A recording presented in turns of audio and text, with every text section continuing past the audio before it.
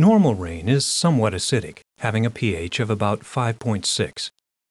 This acidity results from carbon dioxide in the atmosphere reacting with water vapor to produce carbonic acid.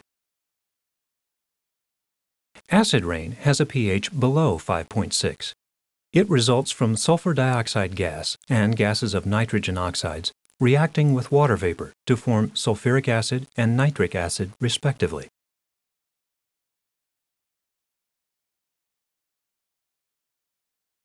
Sulfur dioxide is the product of combustion of coal. Nitrogen oxides are the products of combustion of gasoline.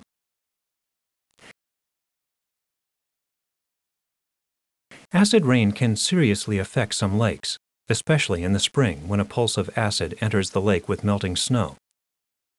Lakes have buffering systems that keep the pH of the water near 7 or above, but over a number of years, acid rain can deplete the buffering capacity of the lake causing the water to become acidic. Lake organisms vary in their sensitivity to acid waters. Often, it is the larval stages of fish and insects that are the most vulnerable.